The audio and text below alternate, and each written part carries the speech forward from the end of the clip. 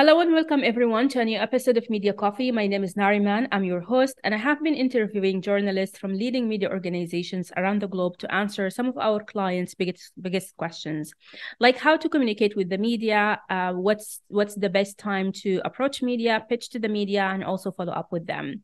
Um, media Coffee is brought to you by Cision, uh, which is a global provider of earned media software and services for PR agencies and comms professionals.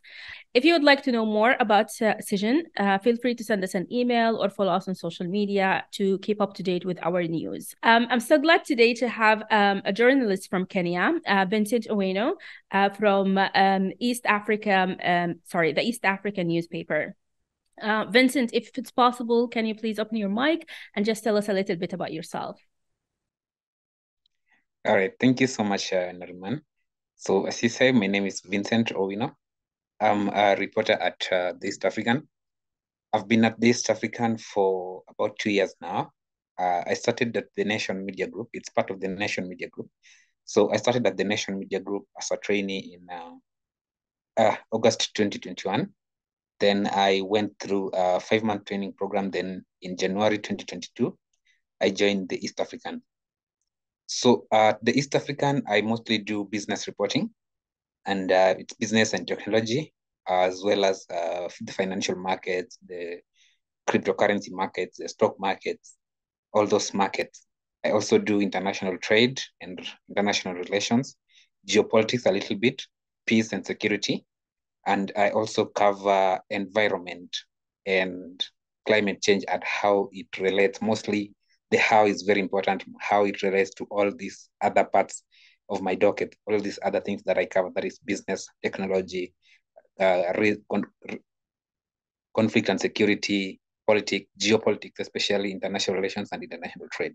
Yeah, I, I wanted to know more about the media landscape in Kenya. So, for example, a lot of uh, our clients um, wonder what are um, the biggest newspapers, for example, the biggest new media outlets that they can reach out to if they're interested in um, entering uh, the, the the Kenyan market, for example, um, and also uh, what are the popular um, the popular uh, form of uh, of media as well. So obviously newspaper, magazines, radio, TV as well. Those are biggest. But do you think you have new form or new uh, form of media like podcasting? Are they becoming popular? Um, social media, the use of social media in general. So if you can just give me uh, an overview of the media landscape in Kenya. Okay. All right. So in Kenya, if you if the news is big or if you want people to view your news as big, you're going to want it covered by the Nation Media Group.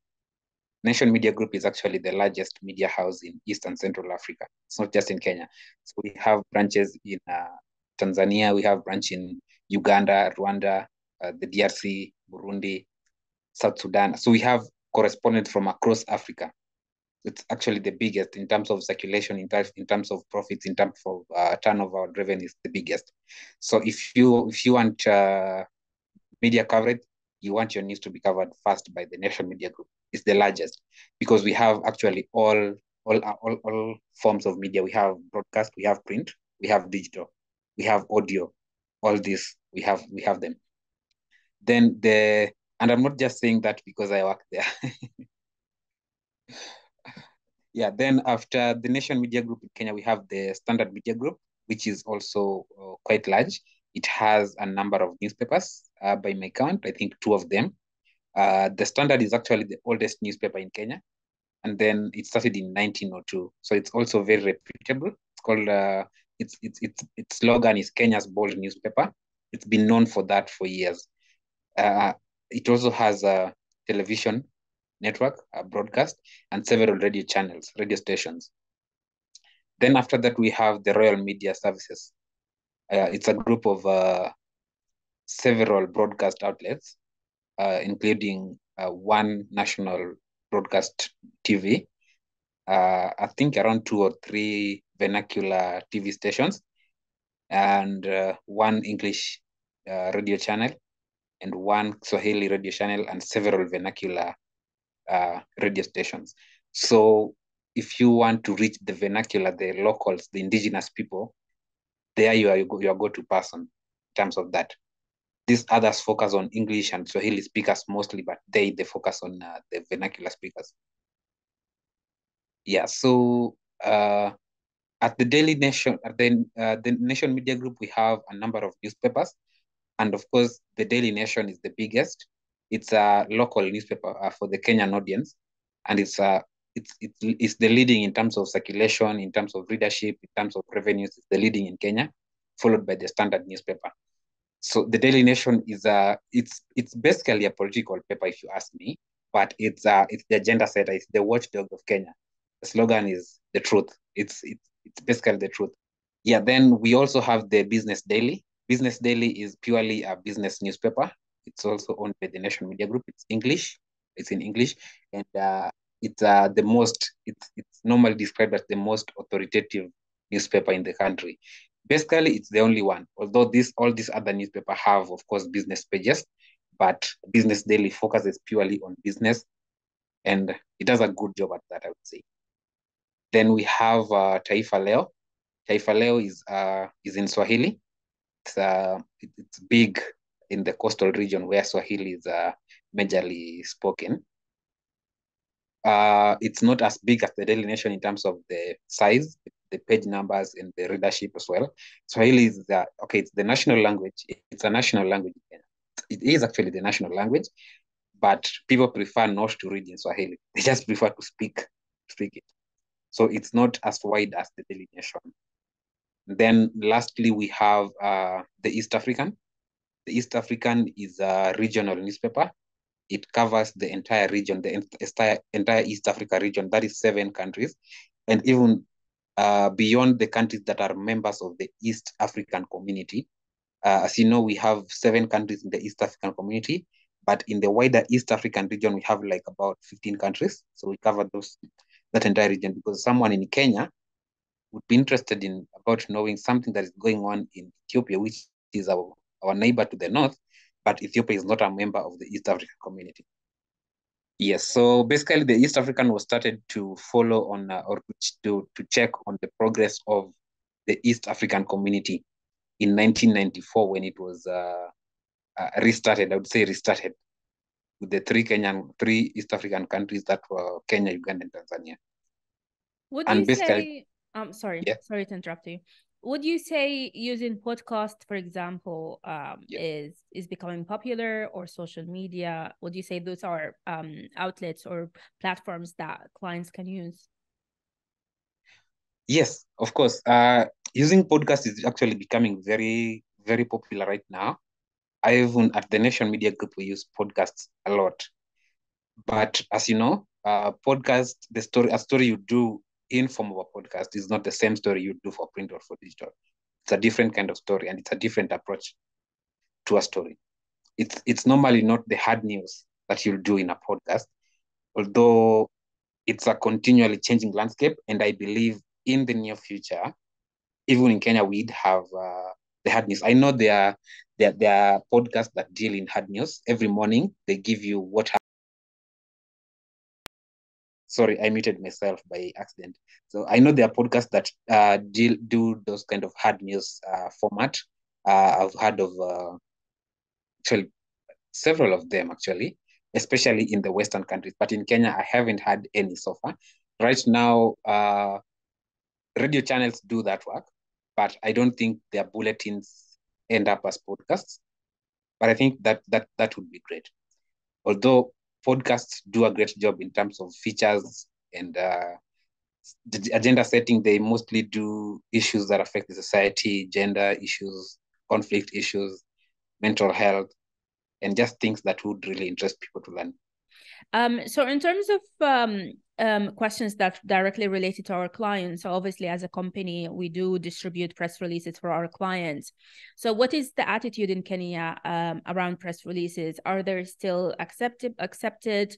Uh, do journalists look forward to receiving these press releases? And is uh, are they useful for them still? Yeah, thank you. Uh, of course, uh, press releases generally uh, writing a story from a press release is a little bit, uh, would we say, uh, naive, or it's something that is left for the young, budding journalists. the ones who are just getting in the newsroom or interns because they want some, they want a story with their byline out there. But for established journalists, they would not want to write a story from uh, press releases. I remember when I was starting, uh, one senior journalist showed me the number of press releases they had in their email and said, just trash all of them. so generally, I don't think people like receiving press releases unless, of course, they were expecting it or unless it is telling something new. Problem, I don't know if this is a, a general problem, but in Kenya, I would say PR practitioners do not know how to do press releases or when to do for the matter for that matter when to do press releases. See most of the time the press releases that you receive it's not anything new. It's not newsworthy. And then someone will call you to follow up if you receive that press release and if you go into to run a story it's very ridiculous. Yeah. So normally i don't think we have a problem with the press release. Issue is is it something new? Is it newsworthy? Is it something? Also another error that they make they just have a media list. Any journalist they know they send a press release to them. They don't care whether it is something they normally cover. It is something of their interest. Because if you send me a press release about uh, a sick child or let me say about a medical uh, a medical milestone I won't care about that because I don't cover health or medical milestones. Or you, if you send me a press release about uh, a political uh, a political a political truce between two rival parties in Kenya, I won't care about that. Yeah, so if you if if if if if if PR practitioners can actually target their uh, press releases very appropriately, so they know this press release is going to land on on someone who covers this, then even if they're not going to write a story based entirely on that press release, but it can inform a story that they're going to do. They can come back to you and tell you, you sent me a press release about this. Uh, would you be willing to link me up with someone so and so from this organization so I speak to them on this story that I'm talking that I'm that I'm writing about? I do that uh, quite a number of times, and I think it's the best way to get uh, publicity for whichever organization that you're working for as a, they're doing their PR for. It's the best way to get to, to, to improve their publicity. This is actually interesting because this is one of the questions that I usually ask later on. What are the mistakes that PR professionals make when they reach out to journalists? So thank you so much for mentioning this. So um, from from your point of view, obviously talking about the issues and the mistakes that PR professionals do, um what and you you probably touched base on this like having something newsworthy or a press release that with new information. Uh what do you think are the criteria? What are you as a journalist aside from the two things that you've just mentioned what are other criteria that you're looking for in a press release in order for you to actually open it and maybe write a story from that press release or around it? Okay uh First, I personally I do open all press releases, not not just press releases. I do open all emails that I receive, and uh, if I don't see anything worthwhile within the first paragraph, I don't continue reading it. But if I can see something worthwhile in the headline or the subject of that email and first paragraph, then I can continue reading it. So uh, I think if you if you studied journalism uh, earlier on before you became a PR practitioner, you'd know that they are the news values. And no journalist is going to write a story that does not uh, meet all the news values, if not most of them. So when you write a press release, ask yourself, what is the value of this press release uh, vis-a-vis news values of a story? Is it timely? Is it close to this journalist that I'm sending it to? Is it in public interest? Is it something that is going to in, in interest the public? Is it something that uh, I'm, I forget the other news values, but it's it's it's it, you need to ask yourself whether this press release is going to meet the news values for this particular journalist that you're sending it to. So I think that is one of the that is one of the things that they really need to uh, have to have in mind when they're sending when they're drafting a press release. And then another thing they need to know is uh, in, in, in, in view of the current events most PR practitioners delay their, their, their press releases so much. Because if something happened today, and then you want to write a press release about it tomorrow, no one's going to do that story. No one's going to do that story after after after it, it has already broken.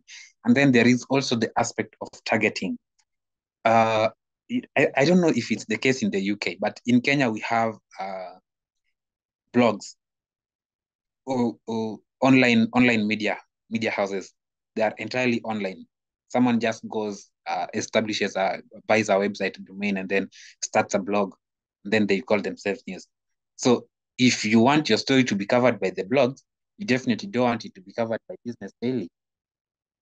Because Business Daily is a reputable newspaper. You're not going to break a story to the blogs first, and then you go to the reputable newspaper and want them to cover it. So there is also that kind of priority. You need to know who is going to cover this kind of story because normally when we see something interesting in a press release, first thing you go online and you check if it has been covered anywhere else. Then when you see it has been covered by a cheap blog, you say, ah, no, I'm not going to add my byline to that story. Yes. Because sometimes you do a story and it, someone reads and just feels like this story, this guy was paid for it. Was paid for it. Sometimes you are not even paid for it, but someone just feels like you were paid for it because the nature of that story itself, it is not newsworthy.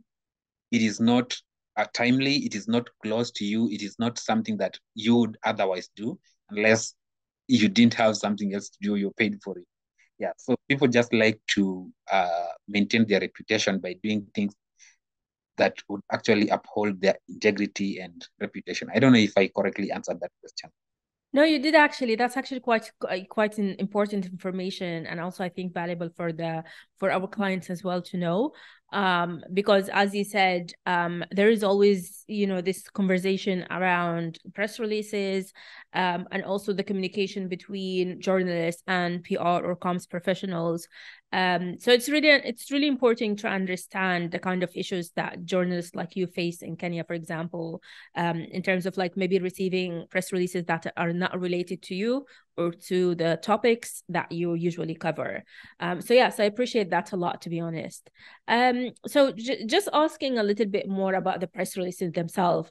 So um, what is the preferred length of the press release and format as well? If, for example, you've seen something you're interested in, um, do you prefer to receive something long and very detailed or something short that you can just write a story from and then maybe um, follow up with the PR professional if they if you have more questions about it?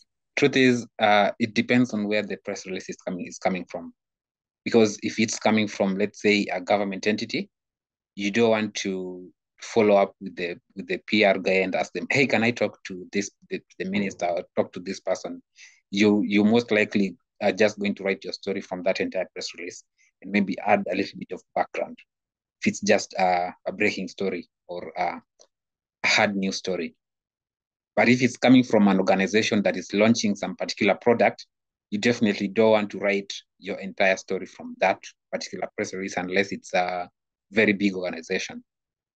So uh, if it's coming from a private entity that you can actually follow up and do your an interview of your own and delve deeper into the details, then the press release would rather be shorter, giving you just the basics of the of the of the of the, the gist of the story, the gist of the story, and then the rest you can follow up with the with the PR practitioner.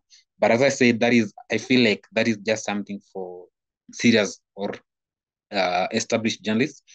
The young or starting journalists will definitely just want to write the story from the press release itself. So they they would themselves prefer the longer one. But personally, I don't have a preference. As long as I get the information that I want in the press release, it's okay because I'm not afraid of reading. I normally read it, read it and read it very fast. So the problem is when the press release is too long and has too little information. That that that becomes a problem. But when it's too short and direct to the point, that's okay. Too long and adds more information and enlightens me further on the story, that's okay. Yeah. And what do you think is the best time to send a press release or to communicate with a journalist? Best time in terms of best day that they can someone can send a press release in where their story might be picked up more or maybe read uh, by a journalist? Good question, by the way. Uh, it's good to know when uh, when what what's the outlet that journalist is working on. Especially for us print journalists, we know that there are weeklies, there are dailies, there are those that don't go out on weekends. There are those that, uh, for, for instance, Business Daily is Monday to Friday only. There's a newspaper called The Star, it's Monday to Friday. Then uh, Daily Nation is every day. And then we have the East African is a weekly. And uh, I think they are also quarterly, some quarterly or some some monthly, not sure. But so uh, for if you want your story to be run on the on the print, and that's that's something really interesting. There, there, there are guys who just say, "I'm sending you the story only for print." they definitely they just want it for the print for the print uh, publication. So if you know you want your story print, you need to know when that print goes to press, when that paper goes to press.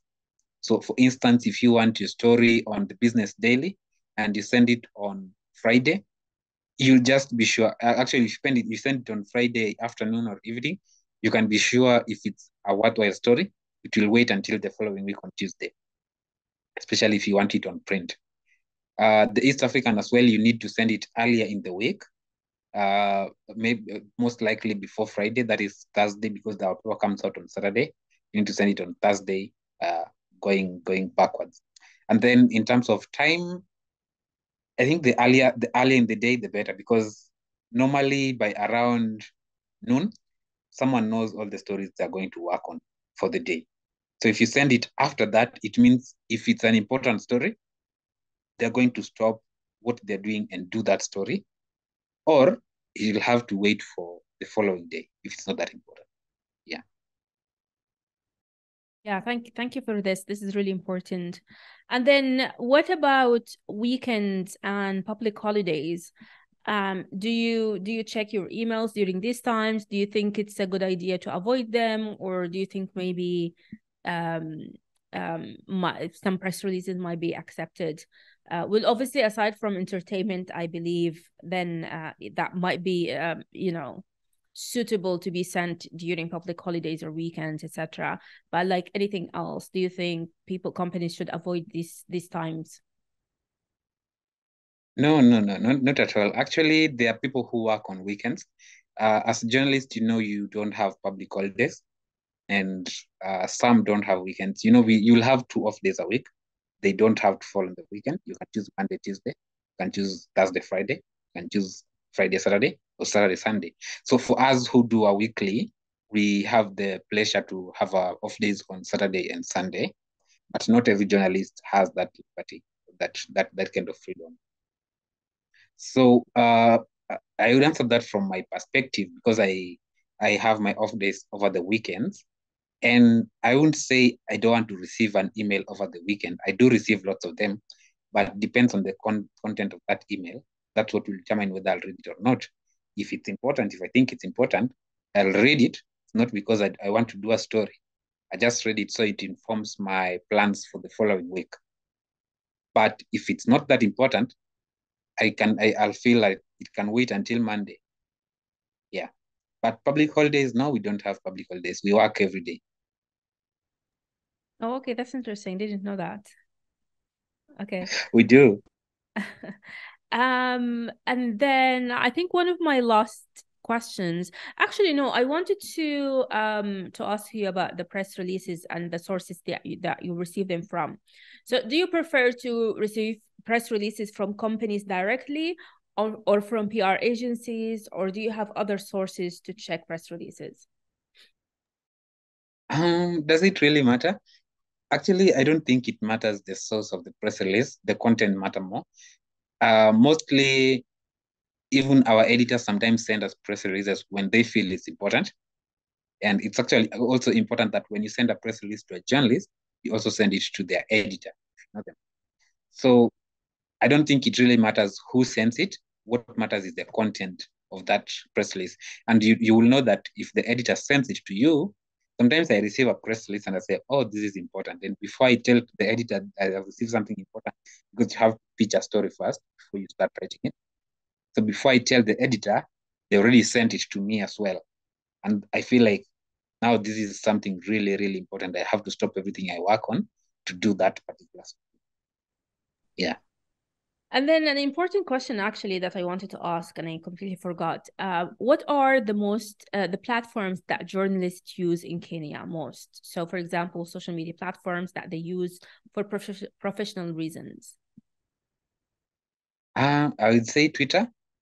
Twitter is uh, top top of that list. Most journalists are on Twitter, both to uh, spread information, to help spread information, uh, through their stories or breaking news alert or those kind of things. And they're also on Twitter to get news because most organizations are going to post news on Twitter or updates on Twitter. Secondly is uh, LinkedIn.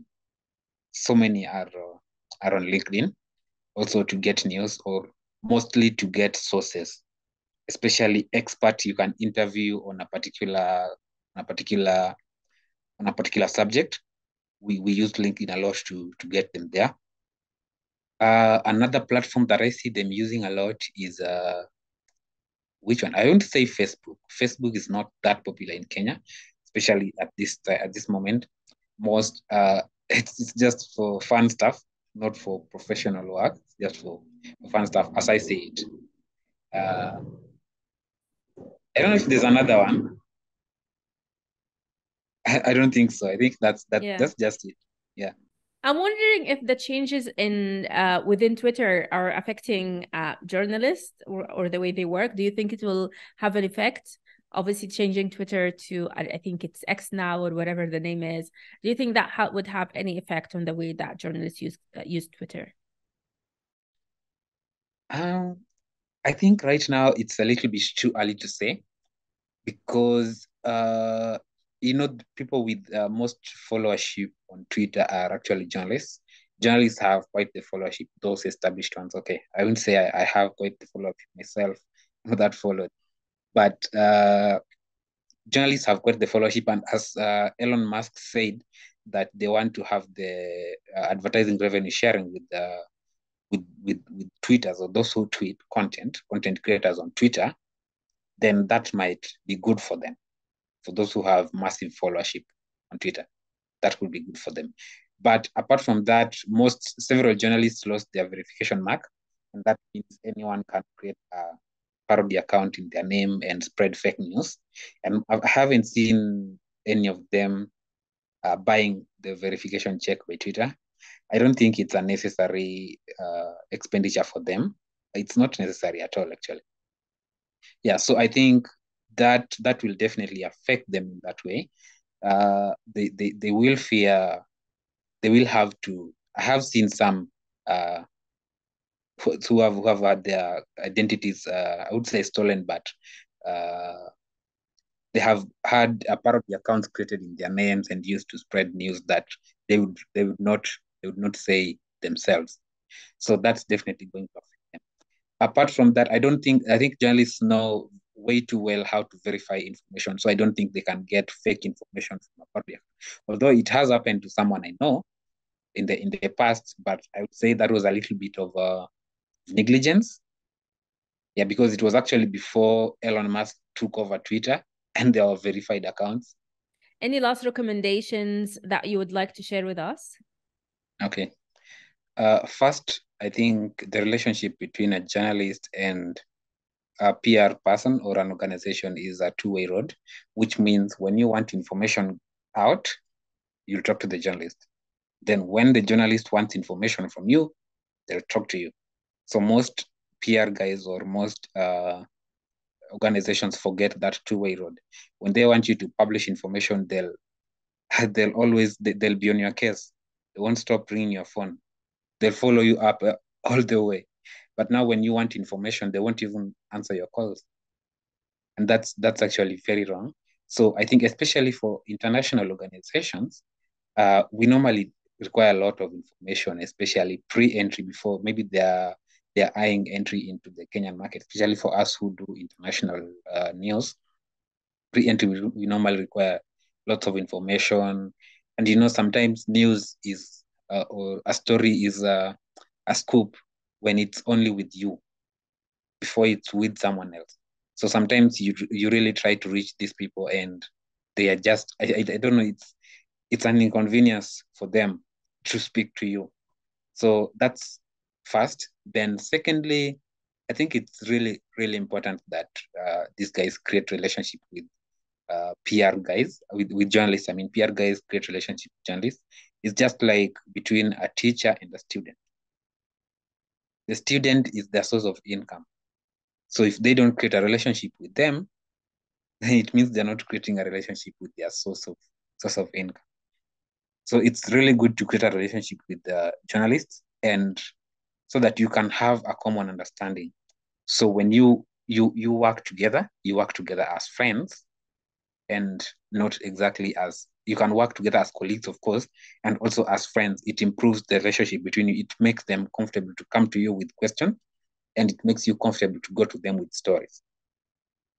Yes, although you can't, of course, you can't create a relationship with everyone, but I know like journalists, PR guys have specific uh, sections that they handle, or specific organizations that they handle.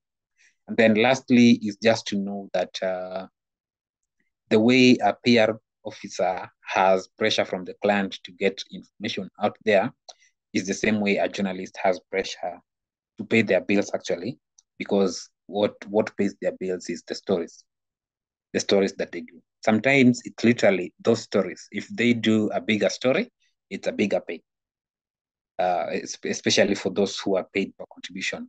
So it's, it's it's better to understand that when whenever you come to them with a story, you need to know that it is that story that is going to pay their bills.